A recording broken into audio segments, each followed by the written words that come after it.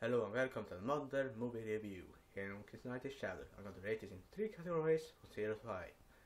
To 5. It is acting, effects and story.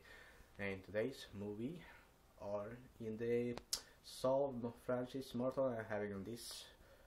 It is the fifth video in the Saw marathon I'm having this week on the channel and it is Saw 6.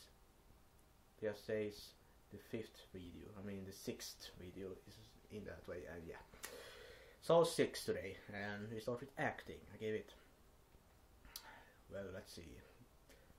I gave it four out of five. The acting went upward from this fifth one and it made a great move great performance everyone and yeah.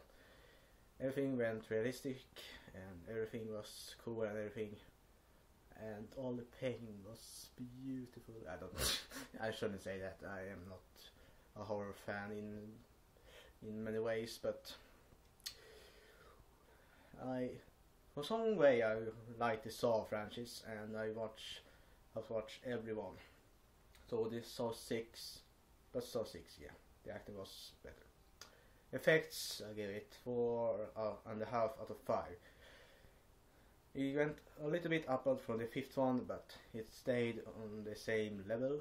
So the effects was great and beautiful and realistic and everything. The effects was great. I think maybe does maybe doesn't think that, but anyway, I think it was great and everything. They made it great. I say great too much and everything, and everything. I say everything too much also, and I'm using the hand really much. I'm getting tired. Yeah, and story. I give it 2 out of 5. The story was one of the worst in the franchise, I think. Sorry for that, if um, the ones that love the movie and everything, but I didn't like the story that much. The story was too repeatable and too much about nothing else but behind this lookbacks and everything. Uh, he was sent. I didn't enjoy it, enjoy it really much, but I'll watch it anyway. And but I think it is the uh, it is the least likable one I in the franchise. I think, even though it had a great acting and effects, but the story was down. Sorry for that, everyone. Sorry.